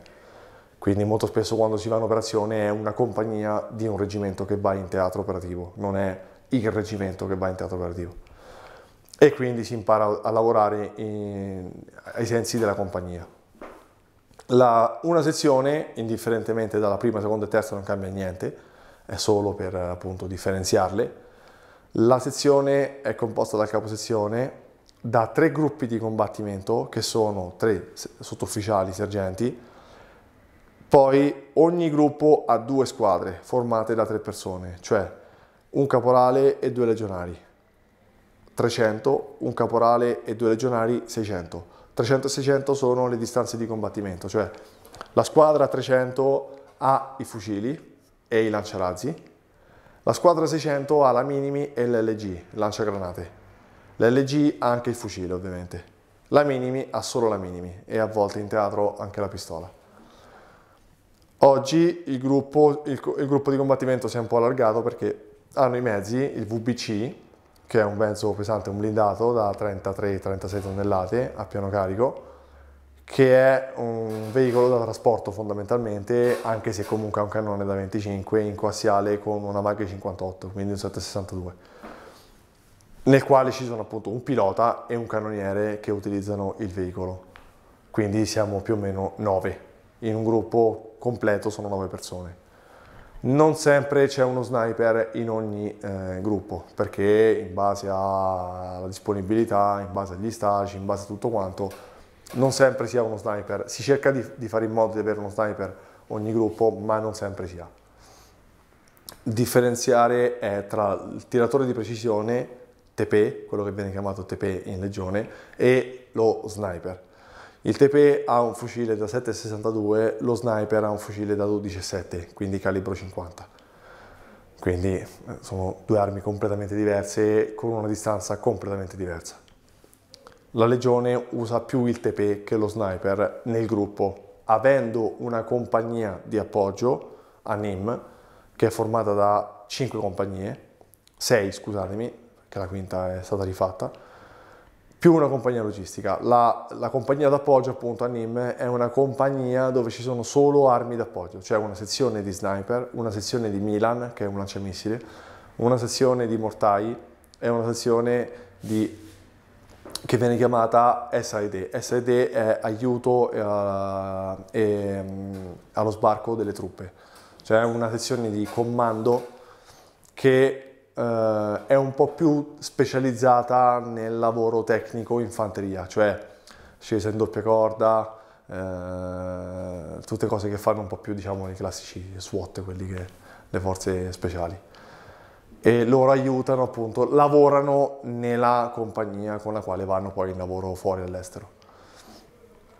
La, la, sezione appunto è formata da queste qua e io ero minimi perché avendomi visto così, il capo sezione mi ha detto ok, sei minimi, va bene. Anche perché non esiste no, quindi se viene detto è così, è così, punto. Quindi eh, ero minimi e minimi ero. E ho fatto qualche missione come minimi, la prima missione è stata in Repubblica Centrafricana a Bangui, Bangui era la, è la capitale, eravamo stanziati a Bangui, poi ci spostavamo in questo dopo un anno che ero arruolato e dopo quanto si va in missione è in base alla fortuna, cioè noi la chiamiamo fortuna perché più si va in missione più è meglio per noi. Quindi in base alla fortuna eh, io sono stato molto fortunato perché avendo fatto solo 5 anni ho girato molto e ho fatto molti stage. Un po' perché ero predisposto in alcuni stage e portato per farli, un altro perché ero fortunato a trovarmi alla quarta compagnia NIM in quel momento lì che era la compagnia che girava di più eh, di tutta la fanteria. Sono finito poi in quarta perché appunto mentre io ero in prima compagnia che stavo facendo la mia formazione di fanteria che dura un mese e mezzo, dopo qualche settimana che ero là, la prima compagnia è stata spostata a Abu Dhabi in eh, quella che viene chiamata MCD, cioè missione di corta durata eh, e alla quale io non potevo andare perché appunto non avevo ancora fatto la mia FSI. Quindi ho finito di fare l'FSI con la quarta compagnia, dopodiché sono, il capitano ha deciso di, appunto, visto che avevamo finito di fare la, missione, la, la, la formazione con la quarta, siamo rimasti in quarta. E quindi questo era il perché finì in quarta. La formazione più, cioè la preparazione più tecnica, più, forse quella più utilizzata è il combattimento urbano oggi combattimento urbano è tutto quello che riguarda muoversi e lavorare, combattere, ehm, eh, fare ricognizioni, riconoscimenti del territorio, tutto quanto in centri abitati, che sia Roma come che sia Frascati. Eh, al di là della dimensione comunque è, è, è appunto lavorare in un centro abitato. E perché? Perché oggi il contatto, cioè il, il, conflitto a fuoco molto spesso c'è in, in queste zone qui. Nel deserto mm, non c'è quasi più un conflitto nel deserto e quindi si, si, si, privilegia e si prepara di più gli operatori a lavorare in queste zone qui, quindi combattimento urbano. E, mm, dopodiché appunto partì questa missione in, eh, in Repubblica Centrafricana durata quattro mesi più uno perché proprio al quarto mese, quando saremmo dovuti rientrare, er, c'erano le elezioni del Presidente della Repubblica della Centrafrica e eh, dopo determinate azioni da parte del popolo eh, africano hanno, era impossibile volare da, da, da, dall'Africa far alzare aerei e quindi ci hanno tenuto giù un mese in più appunto per, appunto, visto che eravamo lì, eh, sopprimere la, la, la, la ribellione, il, il, insomma, la rivolta da parte del popolo africano. E, ehm, poi, dopodiché, il mio percorso è stato di scegliere di diventare paramedico, perché, perché io scelsi di fare il militare in Italia eh, essendo indeciso tra infermieristica e militare. Allora ho detto, bah, visto che eh, ora posso eh, fare qualcosa a livello medico, comunque paramedico, tanto vale, a, visto che già sono militare, tanto vale provare a fare qualche cosa a livello medico, paramedico. E, e quindi scelsi di fare eh, lo stage da paramedico che viene chiamato XAN. Il primo livello dura, durava perlomeno 4 mesi, ora so che dura un po' meno, forse hanno, hanno accorciato i tempi. E come paramedico quello che vi insegnano a fare è appunto gesti sul terreno eh, di stabilizzare la vittima, quindi non è che vi insegnano a dare l'aulin o l'antidolorifico a qualcuno se ha male alla pancia, ma appunto tenere in vita una persona che sta morendo il più a lungo possibile con quello che si ha nello zaino. Quindi tutto quello che riguarda cognotomia, tracheotomia, insufflazione polmonare, tutti questi gesti qua, fermare un'emorragia esterna o interna, interna a livello del bacino, se è nella testa siete nelle mani del Signore, e, e quindi tutto quello che riguarda queste gestualità qui eh, vi vengono insegnate. È molto difficile come stage, non perché l'ho fatto io, ma perché così come il trasmettitore. E passo indietro, quando vi viene chiesto di fare degli stage? Quando avete un, un passato già eh, solido come carriera, ecco, magari dopo una prima missione, dopo, la, dopo un po' di tempo, che il caposizione vi vede che siete tranquilli, che comunque ormai avete eh, ingranato la marcia nella, nella, vita di caserma, vi viene chiesto se voi avrete qualche, eh, qualche, volete fare qualche stage, perché appunto lo stage è quello che vi differenzia all'interno della regione. C'è il trasmettitore, c'è il paramedico, c'è il pilota, c'è il, il, il caposquadra, c'è il mortaio, c'è il Milan, c'è l'RX, ci sono tutte queste armi che necessitano appunto di uno stage per farle non è che un'arma di reparto, alla minimi vi danno la minimi, vi spiegano come si usa e, e, è fatta. Mentre invece il mortaio, capite bene che è molto più tecnica come cosa e quindi deve essere fatto uno stage per rendervi eh, capaci di usare quell'arma. E soprattutto il paramedico e il trasmettitore sono gli stage più difficili della regione straniera. Trasmettitore, ho detto mai trasmettitore perché viene richiesto il Morse e io non mi sentivo assolutamente in grado di usare il Morse e quindi ricordandomi di questa mia indecisione ai tempi del superiore, del, del liceo, ho scelto di, di, di, provare allora a fare anche qualcosa di paramedicina e ho fatto eh, paramedico. Cosa cambia? Niente, perché fondamentalmente comunque voi rimanete in compagnia di combattimento, quindi fate tutto quello che state facendo, ma in più voi siete paramedico, o trasmettitore, o mortaio, o quello che sia. Quindi eh, dovete fare il vostro lavoro come sempre, in più da paramedico dovete appunto eh, essere voi ad aiutare i feriti o eh, il collega o anche i locali della popolazione, a volte è successo di doverli aiutare perché appunto erano, era, era, richiesto da, da, dal comando di, di doverlo fare. Poi, dopo questo stage, ho fatto un'altra operazione a Abu Dhabi, anche, anche, la quarta compagnia poi partì a Abu Dhabi, siamo stati giù due mesi e mezzo. Tornando sono passato caposquadra. Caposquadra perché? Perché appunto anche lì, lì vige e vale solo la meritocrazia. Se voi non valete, se voi non siete capaci o in grado o bravi, non è che non vi, cioè vi possono anche mandare a fare lo stage, ma poi verrete comunque scartati e quindi il reggimento eh, tendenzialmente ha una, ha una, reputazione e quindi come vi dicevo sono il secondo rep e il secondo rei in ordine di, di, di, di reputazione sono i reggimenti quelli un pochettino più in nella legione, se così vogliamo dire. E, ehm, e loro sono molto duri nell'inviare qualcuno a fare lo stage da caporale e sergente perché molto spesso sono quei reggimenti dove vogliono che eh, gli operatori abbiano la posizione più alta nel ranking. Perché? Perché se un cavaliere dovesse finire primo, al primo posto nello stage di caporale davanti a un fante è un po' una vergogna per il reggimento di, di fanteria. Quindi questo è, è semplicemente per per reputazione, non è che perché cavalieri, ho conosciuto cavalieri molto più bravi di, di, di Fanti e di Paragonisti, però è un discorso di reputazione. E, e che, perché poi alla fine comunque effettivamente sul lavoro concreto il cavaliere sta sul veicolo, il Fante è a piedi, quindi eh, è molto più utilizzato l'operatore Fante come persona piuttosto che eh, il cavaliere perché comunque è in un veicolo, quindi eh, è diverso l'utilizzo e l'impiego tutto qui.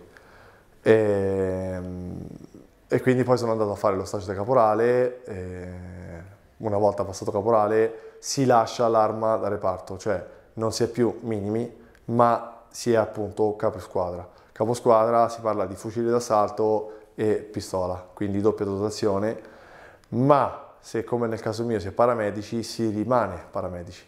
Molto spesso il trasmettitore lavora solo con il capo sezione in teatro, quindi è alle dipendenze del capo sezione. Eh, è quello che noi eh, scherzando chiamiamo il segretario del capo sezione perché ovviamente è alla radio lui e quindi è lui che ha stretto contatto col capo sezione per le comunicazioni all'interno della compagnia. Eh, mentre invece il, l'Oxan, il, paramedico, è quello che non, non abbandona mai il, il, gruppo di combattimento. A meno che voi non scegliate di andare in infermeria, ma la scelta di andare in infermeria è sì richiesta da voi ma dipesa molto dal caposezione. Perché? Perché se avete un, uh, un buon utilizzo delle armi, se siete bravi come capisquadra o come soldato, il caposezione non vi lascerà mai andare in infermeria perché valete oro per lui. Cosa che ho fatto io verso il terzo anno di provare ad andare in infermeria ma mi è stato negato di, di, di netto da, sia dal capitano che dal capo sezione, quindi ho abbandonato l'idea subito perché ho detto non, non c'era verso di andare. Dopodiché ho fatto lo stage come secondo livello di paramedico, perché loro ho detto magari, allora, visto che il primo livello non basta, voglio fare il secondo livello. Il secondo livello è, vi insegnano cose un po' più tecniche a livello di gestionalità di, di soccorso, e anche nel triage, eh, quello che si usa poi nei pronto soccorsi in Italia, il triage delle vittime, la priorità di, di, di, di feriti, insomma. Questo era quello che era il mio ruolo all'interno de, della quarta compagnia NIM. Ero caposquadra e paramedico di secondo livello. Un periodo ho collaborato appunto con, un, eh, con una sezione di, americani, erano provenienti da, dai SEAL, dai Ranger e da altri reparti, che erano paramedici, perché in quanto io paramedico ogni tanto all'interno della legione si fanno questi scambi, eh, chiamiamoli interculturali, così come lo fanno anche con l'Italia, però non, ho, non l'ho mai fatto con gli italiani, purtroppo, non lo so, per fortuna. Eh, non, non, ho esperienza e contatto con eh, operatori italiani da legionario e, e, avendo lavorato con loro lo, lo si fa perché per eh, fare un po' la, la differenza, no? per vedere un po' la differenza ma per migliorarsi quindi che succede? Che gli americani lavorano in un modo, la legione lavora in un altro, così come gli spagnoli, i tedeschi, i francesi, gli italiani. E come lavorava la legione appunto con materiale a, uh, scarsa, di scarsa qualità, dover ottenere lo stesso risultato che ha l'americano che eh, per farvi un'idea il mio zaino da paramedico era uno zaino grande e loro avevano un poco più di un marsupio eh, e il loro marsupio era efficiente tanto quanto il mio zaino. E quindi capite bene che a livello di performance loro erano più eh, avvantaggiati, sia di peso che di eh, tecnicità di gesti appunto di, di soccorso. Ma la differenza stava che noi con quel materiale riuscivamo a tenere in vita molto più a lungo un ferito sul terreno di loro. Perché? Perché loro dopo qualche minuto, qualche ora massimo, hanno un medevac sul posto. La, la legione devono passare qualche ora prima di avere la possibilità di avere un mezzo di evacuazione. quindi qualunque esso sia, che sia su terra che, che elicottero. E quindi la preparazione di un paramedico della Legione, non voglio stare qui a dirvi che è migliore, ma ha più conoscenze tecniche di altri operatori eh, paramedici perché appunto non perché gli altri siano meno bravi, ma perché hanno mezzi diversi. Quindi non ha senso stare a spiegare a un paramedico americano di fare una tracheotomia se tanto hanno il chirurgo sull'elicottero che gliela fa per strada. Quindi eh, cioè alla fine è, è, è, meglio il loro sistema del nostro, ma a mali estremi la Legione ecco, appunto sa sbrigarsela su, in, in questi casi e gli altri eserciti si affidano forse a mio parere un po' troppo alla loro tecnologia e ai loro mezzi, che ovviamente uno si augura sempre che siano efficienti e presenti, ma la possibilità di, di non averli subito in quel determinato tempo eh, c'è, mentre invece la Legione se c'è subito bene, se non c'è fa niente, tanto eh, è, è il protocollo che, che lo richiede.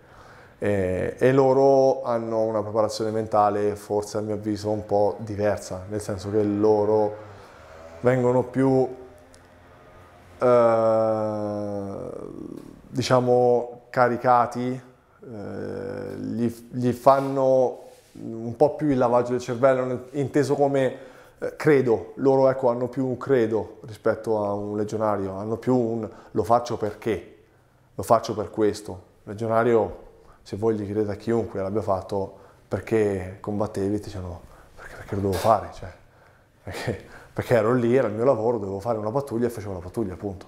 Non è che né per la pace, né per la guerra, né per, né per l'Africa, né per la Francia, né per la, la, la Spagna, né per la, la, Norvegia.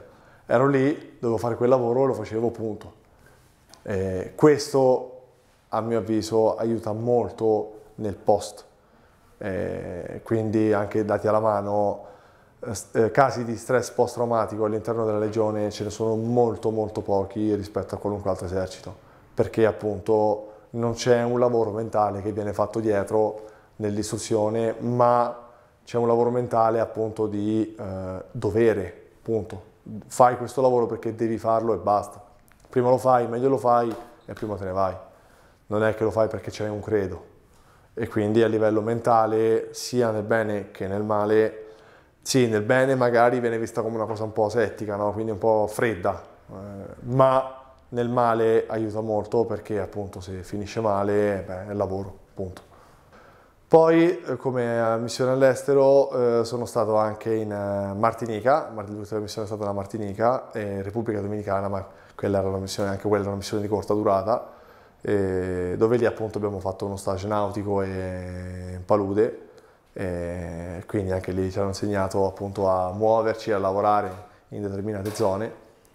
E dopodiché poi tornando da lì ho, fatto, ho, preso anche la patente come pilota di VBC, che è il veicolo blindato della Legione, ma eh, me l'hanno concesso come diciamo, regalo di, di buona uscita eh, anche perché non sono mai stato pilota di, in teatro di, di, veicoli, ma soprattutto anche perché poi in caso il pilota venisse ferito o stesse male, serviva qualcuno che fosse in grado almeno di condurre il veicolo anche per, per tornare indietro. Insomma. E quindi queste erano le mie skill all'interno della, della Legione.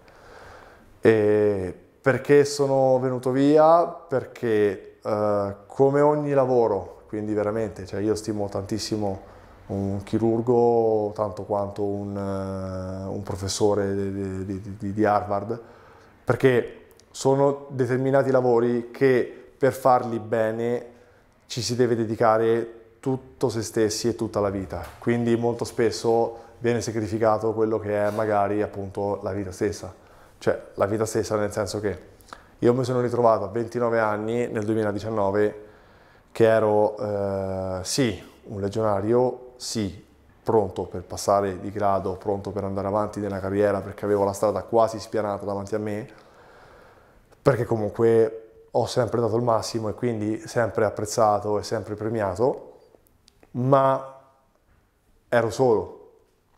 Ero solo nel senso che al di là dei colleghi, tornando a casa sì avevo i miei, ma i miei li vedevo due volte l'anno, massimo tre. e dopo 5 anni era, iniziava a essere pesante. Questo è quello che riguarda ognuno di noi, cioè per me la priorità era, più, era diventata un'altra piuttosto che quella, così come alcuni colleghi che sono rimasti è perché loro hanno dato più priorità alla loro carriera. Non è un giudizio non è una hai fatto bene o hai fatto male, è semplicemente una, una, una scelta di vita. Nel 2014 ho scelto di tagliarmi fuori dal mondo, nel 2019 ho scelto di ritornare a far parte di questo mondo. Qual è stata la scelta più difficile? La seconda, tutta la vita. È stato dopo essere entrati, dopo aver fatto i cinque anni, a oggi posso dire che è stato più difficile tornare indietro dalla Legione piuttosto che nel 2014 quando sono entrato. Perché? Perché entrando nella Legione straniera era una cosa che io volevo con tutto il cuore, era una cosa che per me era una messa alla prova, era una, una sfida per me. E quindi ero totalmente immerso in questa cosa, ero al 100% convinto di dovercela fare, di dover portare a termine quello che io avevo scelto di fare. Mentre invece uscire è stata una scelta morale e quindi, cioè professionalmente oggi faccio un lavoro che è diverso da quello che era la Legione Straniera, ma professionalmente per me il lavoro più bello del mondo è quello, cioè è poter tornare nella Legione Straniera perché era quello che io ho scelto di fare, era quello che io sono riuscito a fare, grazie solo a me stesso. E, mentre invece tornare indietro è stata una scelta che io ho fatto per avere una seconda chance, diciamo, una seconda possibilità di rivivere una vita normale, quindi avere un lavoro con degli orari, perché lì non si hanno orari. Eh, per farvi capire, una volta che voi entrate la libera uscita ve la scordate fino a tre anni di servizio. Perché? Perché ci sono da fare le guardie, i picchetti, le cerimonie e quindi molto spesso quando il weekend non siete di guardia, siete di guardia dovete fare un picchetto o viceversa. E quindi, e non esiste, eh ma io l'ho fatta ieri la guardia, cioè, le, come vi ripeto, tutto quello che vi viene detto è legge, è ordine, non esiste perché o ma. È così, è così, punto. E quindi capite bene che non, mm, anche in Francia è difficile farsi una vita. Sono uscito, sì, a volte in Francia, dopo qualche anno di servizio, quindi ero un pochettino più anziano, come si usa dire in Italia, e, e quindi magari prima di me c'erano altri che, come ho fatto io, toccava loro ora. Però non è che ogni sera c'era la libera uscita o ogni weekend era libero, perché appunto c'era comunque da fare altre cose. E quindi sì, si usciva, ma appunto capite bene che uno non può farsi una vita in un posto uscendo una volta al mese. Una volta al mese puoi conoscere forse quelle due o tre persone nel locale quella sera, ma poi il mese dopo ti sono scordati di te perché non ti vedono più.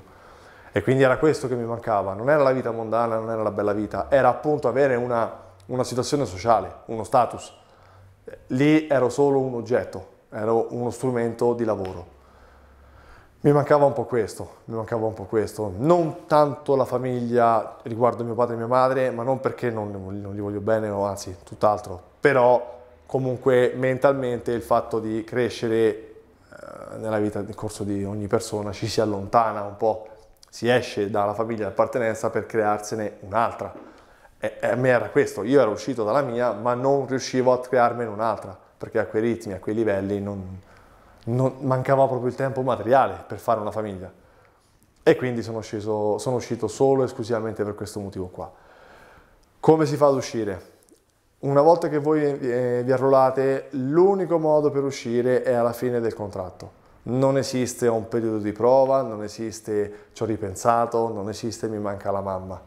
No, voi avete firmato. La firma che voi avete messo riguarda la vostra durata del contratto, cioè 5 anni, né di più né di meno, non potete firmare né meno né di più. È 5 anni il primo contratto.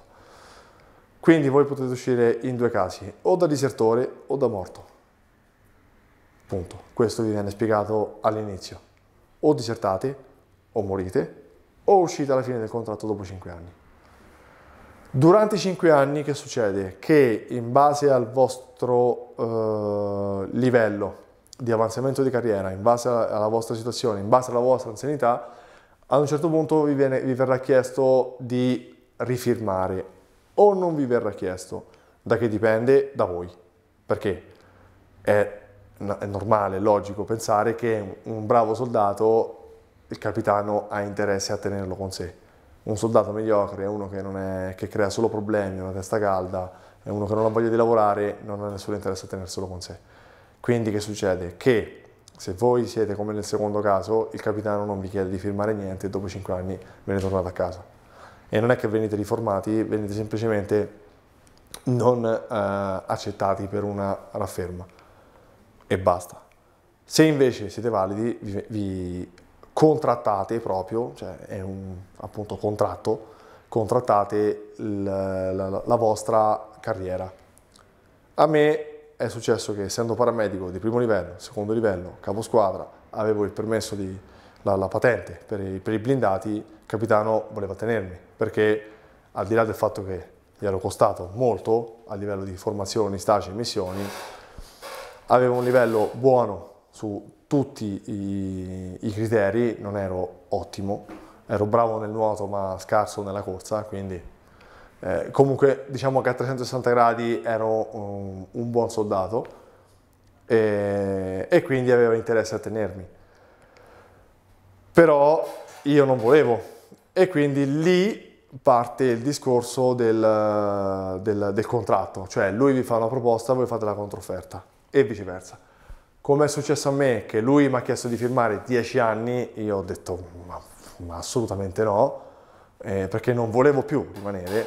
È successo che magari c'erano colleghi che volevano fermarsi 10 anni, il capitano mi ha detto no, massimo 5. Quindi questo poi va anche un po' a pelle, forse, col capitano attuale, o col caposezione, o co, anche col vostro incarico, perché un, una persona che ha solo come eh, specialità pilota capite bene che è poco appetibile per una compagnia di combattimento, mentre invece ecco, un trasmettitore che magari parla quattro lingue, che magari è forte fisicamente, che vuole fare carriera, è, è più appetibile e quindi eh, viene, viene, viene più privilegiato di tenere un soggetto del genere che il pilota e basta. Non che non sia buono il pilota, anzi ce n'è molto bisogno, ma è più semplice formare un pilota che un trasmettitore quindi tutto qui, in base al vostro stage, in base alla, in base alla vostra funzione, alla vostra specialità, eh, cambia un po' quello che è la vostra carriera e quello che è il vostro percorso dentro la regione. E, ehm, e quindi io di fronte alla richiesta da parte del capitano ho, ho rifiutato, è andata avanti per un mese la cosa, quindi più rapporti, più volte a stirare la divisa di notte perché dovevo passare il rapporto. E, però ero... Allora, non è vero, non ero convinto tanto come quanto eh, all'ingresso della Legione, ma sentivo che appunto a 30 anni, 29, facevo ancora in tempo forse ad avere una seconda chance di vita mh, facendo un altro tipo di, di, di, di lavoro e di, vita appunto. E quindi ho scelto, ho scelto di uscire. Ad oggi eh, sì, sono ancora in contatto con tantissimi legionari che sono ancora in servizio attivo perché da noi c'è un detto legionnaire un jour, legionnaire toujours, cioè legionari un giorno, legionari sempre. Perché appunto in base poi anche magari a come si è stati dentro la legione, lo, quello che si è vissuto con determinate persone, non moriranno mai i contatti e i legami con determinate persone.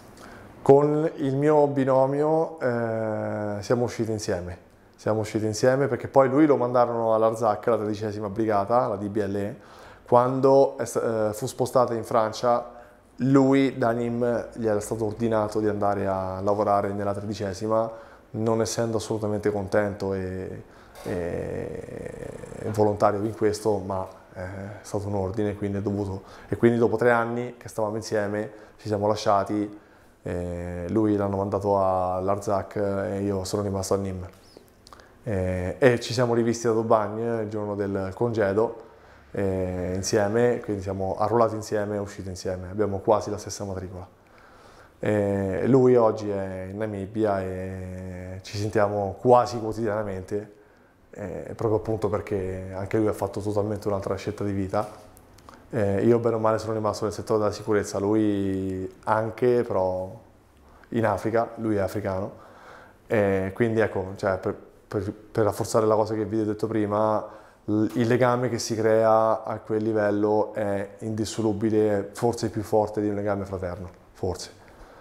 E, e quindi ho fatto questa scelta qua di, di, di, uscire nonostante tutto, perché come ho avuto una seconda chance nell'arruolamento ho rivoluto riprendere la mia vita in mano ad oggi, perché sì, mi ha lasciato un bagaglio culturale immenso, quindi la scelta del lo rifaresti sì, quante volte infinite più volte potrei rifarlo più lo rifarei perché quello che vi lascia dentro non esiste università, non esiste eh, nonno che vi racconta la sua storia, non esiste niente. Finché non lo fate, non, non, neanche io posso stare qui a parlarvi per ore, ma non riuscirei a, a, a, farvi capire quello che ho provato nel farlo, nel bene e nel male, se, se è chiaro. Più, più, nel male che nel bene, ma il male poi dovete essere bravi voi a utilizzarlo per fare del bene, cioè brutte scene, brutte situazioni servono a crescere più di bei momenti. I bei momenti servono a ridere, a stare insieme, momenti di, di, di, di allegria, di, cazzeggio, scusatemi i termini, ma è, è, veramente quello la parola giusta che serve a, a, a fare coesione all'interno della, della sezione. E, e i momenti brutti servono a eh, far sì che poi vengano i momenti belli, perché dopo un momento brutto è obbligatorio che sia un momento di, di, di relax e di, di svago per, per, andare avanti, per, uh, per, scordarsi quello che si è vissuto e me, impiegarlo, metterlo in pratica eh, nella vita di tutti i giorni per far sì che non accada più primo, secondo perché si, sia, eh, si è preparati ad affrontare quella eh, quella, quella determinata cosa che potrebbe succedere. Quindi è un bagaglio culturale anche a livello di lingue. Io sono entrato che appunto parlavo malapena l'inglese, dopo cinque anni lì mi ritrovo che parlo benissimo il francese, l'inglese, lo spagnolo e qualche parola, ovviamente parolacce, la più parte di russo, perché quelle sono le prime parole che si insegnano. E quindi anche quello è un bagaglio culturale non indifferente e, e imparate assolutamente a sbrigarvela sempre da soli, qualunque sia la circostanza. Quindi consiglio di farvi arruolare? No, perché è una scelta molto difficile, una scelta molto dura, una scelta particolare che ognuno di, di, di, di, noi deve fare solo con se stesso, cioè che, il messaggio che voglio far passare io soprattutto è non fidatevi di quello che vi dico io, non fidatevi di quello che, quello che c'è scritto sui libri, ascoltate quello che voi volete fare. Le mie sono esperienze che possono essere diverse da tanti altri che sono stati dentro la Legione Straniera, che è così, perché io l'ho vissuto in un modo, altri colleghi l'hanno vissuto in un altro modo. E quindi non è che perché le mie oggi vi parlo così, allora significa che voi arruolandovi sarete così, no, perché ognuno agisce in modo diverso. Quindi io non consiglio di arruolarvi nella Legione, consiglio di puntare in alto partendo dal basso quindi eh, io sarei potuto diventare tenente al massimo nella legione straniera. Arruolandosi da legionario semplice si può aspirare a diventare massimo tenente, che è ufficiale. Ce ne sono veramente pochi di queste persone, cioè chi è, chi è entrato legionario è diventato poi tenente, ma è possibile.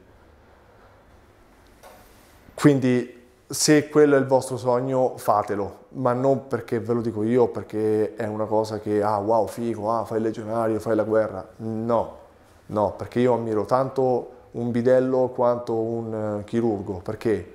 Il chirurgo che è diventato chirurgo perché gli è stata regalata la laurea, sei bravo, ma il bidello che fa tutti i giorni il suo lavoro per bene è molto più bravo del chirurgo, è molto più ammirevole, quindi fatelo perché lo volete fare voi, non perché è fico o perché oggi sono qua a raccontarlo stando bene e tutto quanto.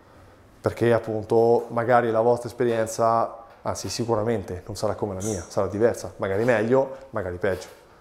Quindi non, non, non fidatevi di quello che leggete o la gente vi dice. Fate le vostre scelte qualunque esse siano perché voi volete farlo, non perché, eh, perché pensate che fare il militare sia figo. No, cioè, quella non è una prova. La prova potete farla nell'esercito italiano, in un esercito standard. Quella non è una prova, quella è una scelta, dalla quale tornare indietro è molto complicato, sia nel bene che nel male.